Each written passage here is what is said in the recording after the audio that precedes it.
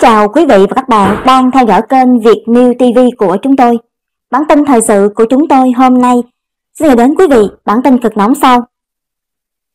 UFO xuất hiện tại Việt Nam gây ra một vụ tai nạn tàu hỏa cũng như tấn công quân Trung Quốc tại Campuchia khiến dư luận bàng hoàng choáng váng. Kính thưa quý vị, bản tin thời sự của chúng tôi ngày hôm nay xin gửi đến quý vị những nội dung cực nóng như sau. Lại một vụ tai nạn gây xôn xao dư luận khi điều tra ban đầu cho thấy đây là một cuộc chạm trán bí ẩn giữa UFO hay còn gọi là người ngoài hành tinh và tàu lửa. UFO được cho là tấn công quân Trung Quốc và lính đánh thuê bằng chùm tia tại Campuchia. Và sau đây là những thông tin chi tiết, mời quý vị và các bạn cùng lắng nghe. Thưa quý vị, như hầu hết chúng ta từ trước tới nay đã từng nghe nói đến người ngoài hành tinh. Đây được cho là những sinh vật hay giống loài tồn tại và phát triển bên ngoài trái đất. Hầu hết các nhà khoa học tin rằng sự sống ngoài trái đất nếu có tồn tại thì sự tiến hóa của nó đã xuất hiện độc lập ở nhiều nơi khác nhau trong vũ trụ. Có giả thuyết khác cho rằng sự sống ngoài trái đất có thể có nguồn gốc ban đầu chung và sau đó phân tán khắp vũ trụ từ hành tinh có thể sống được này tới hành tinh có thể sống được khác. Lại có đề xuất cho rằng nếu chúng ta tìm thấy được sự sống và nền văn minh ngoài trái đất gần chúng ta thì sự sống và nền văn minh đó hoặc đã phát triển hơn chúng ta rất nhiều, hoặc vẫn còn rất sơ khai hơn chúng ta rất nhiều. Sinh vật ngoài trái đất, theo suy đoán có thể thay đổi từ dạng giống con người hay quá dị như trong phim khoa học viễn tưởng cho đến dạng sống nhỏ hơn là vi khuẩn và virus. Sinh vật ngoài trái đất, nhất là dạng có trí tuệ, thường ăn sâu vào văn hóa với tên gọi người ngoài trái đất hay người ngoài hành tinh. Trong diễn biến liên quan, một tai nạn hy hữu xảy ra khi đoàn tàu Bắc Nam vào hôm qua được nhìn thấy trong đoạn video được cho là đã chạm mặt một nguồn ánh sáng chói mắt xuất hiện trong chốc lát trước khi trật đánh tại địa phận Nghệ An, Hà Tĩnh. Các nhà điều tra đang đưa ra giả thuyết xem đoàn tàu này có phải đã va vào một vật thể bay không xác định UFO trước tai nạn hay không. Theo lời kể từ một nhân chứng, ánh chớp xảy ra trước khi vụ tai nạn chỉ ra rằng rất có thể vật đâm đoàn tàu là phi thuyền của người ngoài hành tinh hay một máy bay không người lái. Video sẽ cho mọi người thấy rõ hơn về hình ảnh ánh sáng UFO theo đuổi một đoàn tàu. Còn đây là những tường thuật của nhân chứng kể về cuộc chạm trán giữa tàu lửa và UFO. Khi anh ta đang làm việc trên một tàu chở than trong lộ trình từ lộ trình Hà Nội đi Đà Nẵng. Bộ phận đáy gồm một bộ phận đẩy và hai toa xe đầu tiên hỏng nặng vì chúng tôi bị một vật lơ lửng không rõ tấn công. Lúc đó, đồng hồ của tôi chỉ 2 giờ 47 phút. Chiếc đồng hồ này cùng cùng toàn bộ hệ thống điện trên cả hai đầu máy xe lửa ngừng hoạt động. Khi tiếp cận đoạn đường cong gần mốc 42 trong địa phận Nghệ An, Thanh Hóa, tiếp viên trên tàu và tôi nhìn thấy ánh sáng gần con tàu của chúng tôi. Ánh sáng này thường là dấu hiệu cho thấy tàu khác đang đến và sẽ đi trên một đường ray khác. Chúng tôi tắt hết đèn để không bị trói mắt khi ánh sáng kia tới gần. Khi chúng tôi vòng qua đoạn đường cong, máy tính trên tàu bắt đầu chớp nháy, bản ghi tốc độ rối loạn và cả hai đầu máy xe lửa đều chết máy. Chuông báo động bắt đầu reo, và đó là khi chúng tôi nhìn thấy vật thể lạ. Nhìn kỹ thì thấy một thứ gì đó trên dòng sông, ít nhất ba vật thể lạ đang phát sáng và dò tìm ở đây. Vật thể thứ nhất bay lượn cách mặt đường khoảng 3 mét, nó màu kim loại, phát ánh sáng nhiều màu, dài khoảng 6 mét, cao khoảng 3 mét, không có cửa sổ hay một khe hở nào. Với cả hai đầu máy đều hỏng khi qua đoạn đường cong, đoàn tàu của chúng tôi gây ra tiếng động nhỏ và vật thể lạ thứ nhất không phản ứng gì. Tôi ước tính lúc va chạm với vật thể lạ, đoàn tàu của chúng tôi đang ở tốc độ khoảng 48 km/h, chở khoảng 16.000 tấn hàng hóa phía sau. Các toa phía đuôi đoàn tàu bị vật thể lạ này tấn công phanh khẩn cấp của chúng tôi được khởi động vì tàu bị mất nguồn điện. Tàu chúng tôi dừng sau khi trượt khoảng 1 đến 2 km. Sau khi tàu dừng lại, thì điện có lại. Chúng tôi thông báo cho người điều vận xe lửa ở khu vực trên về những gì đang xảy ra. Họ yêu cầu chúng tôi kiểm tra các toa tàu xem chúng có còn nằm trong đoàn tàu không và cố gắng đi tới mốc 60 không. Nơi đây từng là sân ga của tỉnh Nghệ An. Chúng tôi đã kiểm tra lại mọi thứ và buồng lái phía sau hư hỏng nặng và bốc khói. Hai toa kế đó trông như thể bị một cái búa khổng lồ đánh vào, nhưng không tách khỏi đoàn tàu. Chúng tôi đến sân ga Nghệ An vào khoảng 5 giờ 15 phút sáng. tàu dừng và mọi người bắt đầu dỡ hành lý xuống. Chúng tôi nghe thứ gì đó giống như một đội quân đang tiến đến. Cửa xe đóng sầm. Những người này thuộc đơn vị kỳ lạ và đèn chiếu sáng từ mọi hướng, chỉ thiếu mỗi quan chức đường sắt. Một người bắt tay tôi và yêu cầu tôi đi theo anh ta vào văn phòng ở sân ga cũ này. Chúng tôi theo vào nhưng không biết gì về những người này. Họ bắt đầu hỏi cung. Và yêu cầu chúng tôi kiểm tra sức khỏe. Tôi nhiều lần đòi nói chuyện với quản đốc đường dây. Họ không chỉ từ chối mà còn tịch thu điện thoại di động của tôi. Vài giờ sau, chúng tôi được dẫn ra ngoài, trong khi điều kỳ lạ vẫn tiếp tục xảy ra. Hai đầu máy và hai toa đã được gỡ bỏ khỏi đoàn tàu. Có thể chúng được đưa đi đặt gần đó và phủ bạc, với tiếng ù ù như đang hoạt động. Chúng tôi được trả lại tài sản. Họ dặn dò và đề cao sự im lặng của chúng tôi với lý do an ninh quốc gia. Rồi chúng tôi được đưa lên chuyến tàu khác và đến Đà Nẵng, nơi chúng tôi lại bị các quan chức đường sắt đặt hỏi cung và kiểm tra sức khỏe. Sau khi toàn bộ nhân viên được kiểm tra sức khỏe, họ nghỉ ngơi trong 8 giờ, rồi được gửi đến làm việc tại tàu khác. Nhưng kỳ lạ là chẳng còn dấu hiệu nào của đầu máy xe lửa, hai toa xe, lều hay bất cứ hoạt động điều tra nào. Trong một diễn biến liên quan, UFO đã tấn công quân Trung Quốc và lính đánh thuê bằng chùm tia sóng cực mạnh tại Campuchia. Thưa quý vị, theo các nguồn tin quân sự chúng tôi có được, cũng vào hôm qua, một nhóm binh sĩ Trung Quốc và lực lượng đánh thuê tham gia vào những cuộc xâm nhập gây hấn vào lãnh thổ Việt Nam đã bắt gặp một UFO có hình dạng giống chiếc đèn lồng cách thủ đô Phnom Penh 96 km về phía bắc. Nó không hề hấn gì trước làn đạn pháo và bắn ra một chùm ánh sáng bí ẩn. Được biết, số binh sĩ này đang chuẩn bị tập kích vào biên giới thuộc Tri Tôn, An Giang đã bị UFO tấn công. Theo lời kể của viên sĩ quan mang hàm đại úy cho biết, khi anh ta và các đồng đội của mình được triển khai ở ngoài ô tỉnh Tà Keo, họ nhìn thấy thứ gì đó giống như đèn lồng trôi nổi trên núi. Điều này ngay lập tức thu hút sự chú ý của mọi người. Sau đó vật thể này bay về phía ngôi làng khiến binh lính Trung Quốc bắt đầu được lệnh nã đạn. Nhiều vụ nổ xảy ra xung quanh UFO khiến nó dường như bị nhấn chìm trong ngọn lửa dữ dội. Theo lời anh ta, UFO là trung tâm của vụ nổ, nhưng nó xuất hiện trở lại mà không bị hư hại.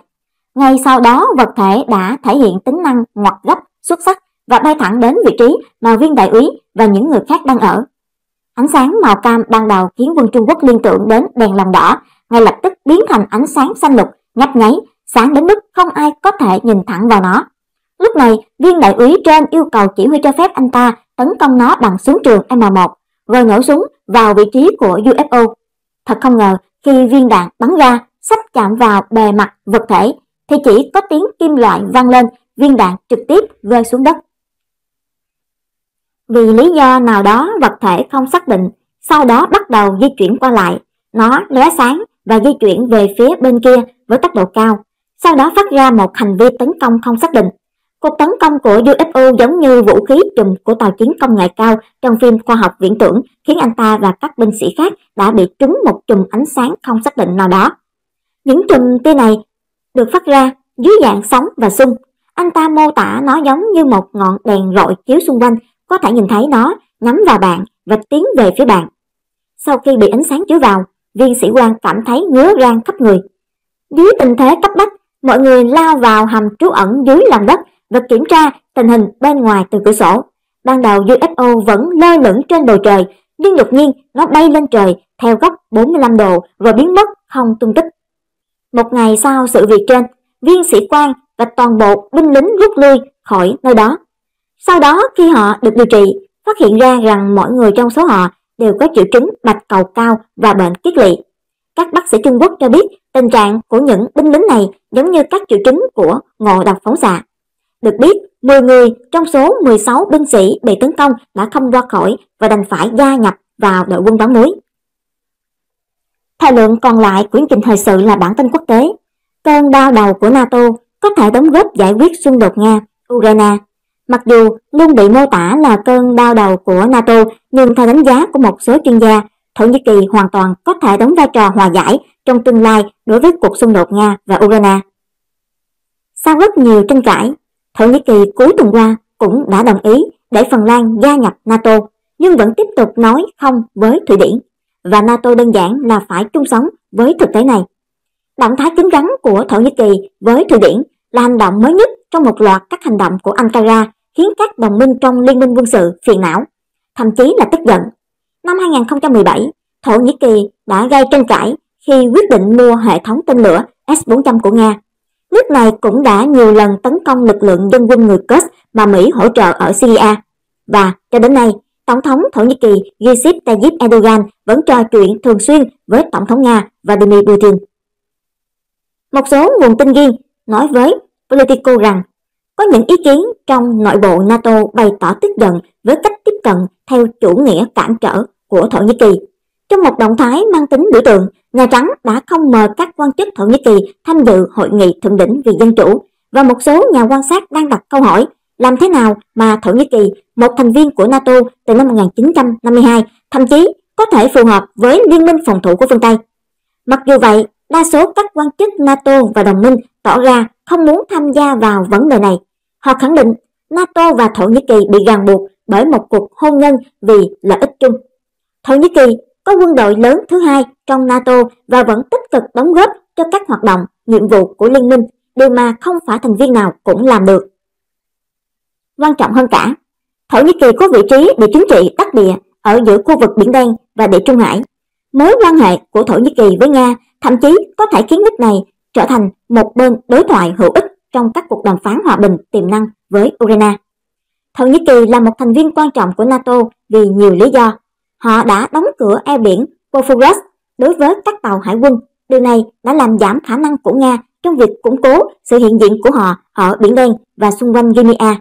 Tổng thư ký NATO Jens Stoltenberg nói, bất chấp việc Thổ Nhĩ Kỳ là cơn đau đầu kinh niên với liên minh NATO vẫn sẵn sàng thỏa hiệp để giảm thiểu bất đồng nhằm giữ Ankara ở lại, nhấn mạnh giá trị mà liên minh đang đặt lên trên sự hài hòa giữa một thế giới đầy bất ổn. Sinan Ugen, thành viên cấp cao tại Canada, Europe cho biết, Thổ Nhĩ Kỳ cung cấp một tấm đệm an ninh cho NATO và chắc chắn NATO cung cấp một chiếc ô an ninh cho Thổ Nhĩ Kỳ. Một nhà ngoại giao châu Âu bày tỏ cái nhìn trực diện hơn, tất nhiên Thổ Nhĩ Kỳ cần NATO. Theo nhà ngoại giao này, câu chuyện Thổ Nhĩ Kỳ là vấn đề hệ trọng trước mắt nhưng mọi người thường lãng tránh đề cập. Sự cân bằng của Thổ Nhĩ Kỳ có thể giúp hòa giải xung đột Nga-Ukraine. Chính sách đối ngoại của Thổ Nhĩ Kỳ khiến nước này khác biệt với hầu hết các đồng minh NATO. Thổ Nhĩ Kỳ đã lên án chiến dịch quân sự của Nga và cung cấp viện trợ cho Ukraine, nhưng cũng từ chối trừng phạt nhằm vào Moscow. Kể từ khi xung đột vũ trang Nga và Ukraine nổ ra, ông Erdogan đã gặp trực tiếp ông Putin nhiều lần bên cạnh các cuộc điện đàm. Ông Erdogan thậm chí còn cáo buộc phương Tây khiêu khích Nga. Một nhà ngoại giao cấp cao khác nói với điều kiện giấu tên cho rằng quốc gia này áp dụng cách tiếp cận cân bằng mọi thứ một cách thực tế để tối đa hóa lợi ích của chính họ. Trong khi đó, các quan chức Thổ Nhĩ Kỳ vẫn luôn coi đất nước của họ là người hỗ trợ đắc lực trong liên minh. Theo quan điểm của họ, Thổ Nhĩ Kỳ là một đồng minh NATO có thể đảm nhận vai trò bắt cầu mà các nước phương Tây đang cố gắng lấp đầy. Mặc dù chúng tôi có những bất đồng sâu sắc về một số vấn đề nhất định, nhưng chúng tôi có một kênh liên lạc chức năng với Nga, một quan chức Thổ Nhĩ Kỳ dẫu ta nói. Vị quan chức này cũng lưu ý rằng Thổ Nhĩ Kỳ đã giúp làm trung gian cho thỏa thuận giữa Nga và Ukraine để vận chuyển ngũ cốc qua Biển Đen. Thỏa thuận này đã giúp ngăn chặn một cuộc khủng hoảng lương thực mới Quan chức này nhấn mạnh, đồng thời cho biết thêm rằng Ankara cũng đang đóng vai trò tích cực trong hoạt động trao đổi tù nhân giữa Nga và Ukraine.